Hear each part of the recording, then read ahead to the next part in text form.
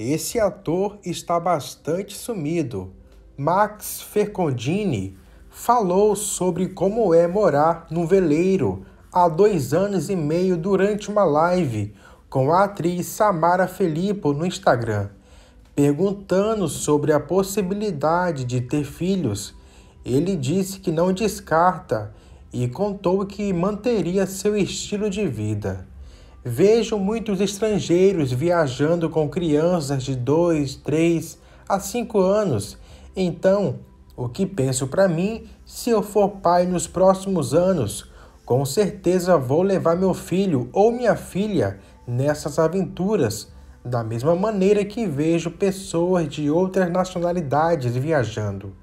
Acho que é muito possível.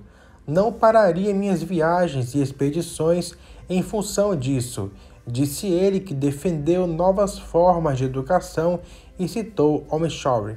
Samara comentou sobre encontrar uma parceria que tope essas aventuras. Isso é que acho mais difícil, porque filho vai atrás da gente, mas ter uma mulher que seja companheira a esse ponto e tenha disponibilidade de viajar e abrir mão de várias coisas seja do conforto de uma casa na cidade ou a proximidade com a família, é difícil abrir mão dos amigos também. Eu confesso que não estou procurando uma companheira para isso, mas tenho certeza de que vou encontrar. Faz dois anos e meio que moro em barco. Eu tenho viajado e passado por vários lugares diferentes. Eu percebi que, na verdade, esse amor em cada porto não é relacionamento, não é algo sexual é uma descoberta nova que eu faço, seja acompanhado de uma mulher ou então de um amigo. Para mim, esse amor em cada porto é uma descoberta pessoal que eu tenho feito.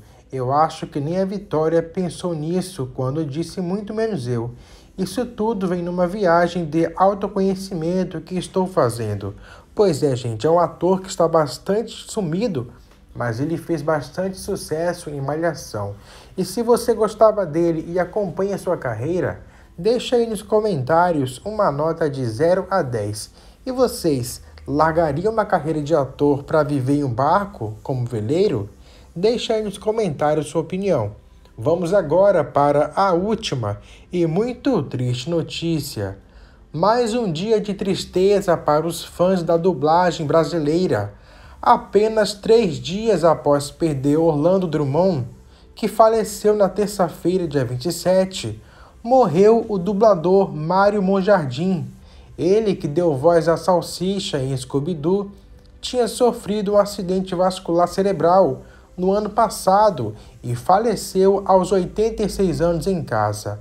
Mário fazia dupla com Orlando nas dublagens de desenho do Dog Alemão além de Salsicha, que interpretou em português também nos live action com Max Light.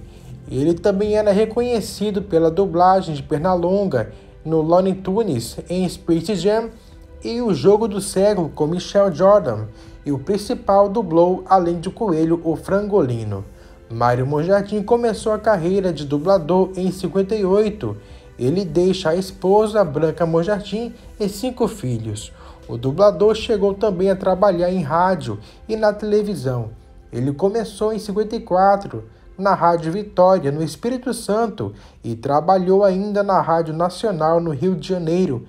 E em 65 ele seguiu para a TV Globo, onde integrou o elenco Carga Pesada, Chico Anísio Show e Os Trapalhões. Pois é, gente, perdemos né, mais um grande ator que com certeza vai fazer muita falta. Desejamos que Deus conforte o coração dos familiares e que ele descanse em paz. Humildemente eu peço, deixem seu like, se inscrevam no canal e se assim que Deus nos permitir, voltaremos com o próximo vídeo. Tchau, tchau.